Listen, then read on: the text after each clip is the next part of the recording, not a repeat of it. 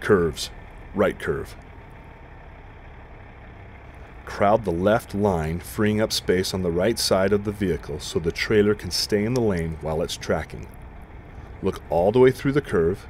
This will help you maintain smooth steering through the curve. Stay within the lane.